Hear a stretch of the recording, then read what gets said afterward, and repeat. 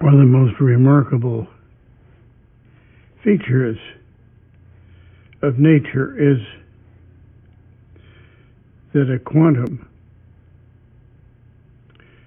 can pursue two different routes through two different slits, come together and manifest itself as a single quantum.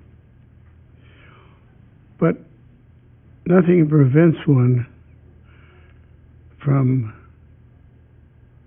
saying that the quantum, it might be a photon, to speak of quantum of radiation, or it might be an electron, to speak of a particle.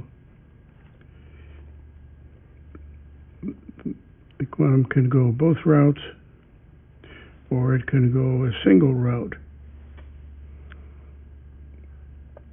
And it's possible to choose which, after the particle has already made its travel, you choose after the particle has decided whether it's going both routes or one route. And after it's got through, you yourself decide which it shall have done. You seem to interfere, intervene to change the past.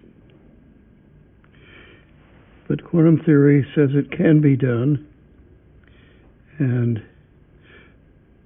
I had the pleasure to spell out some of the features of such an experimental arrangement. My University of Maryland colleague, Carroll Alley, made changes in the experiment, but without changing the principle and carried it out.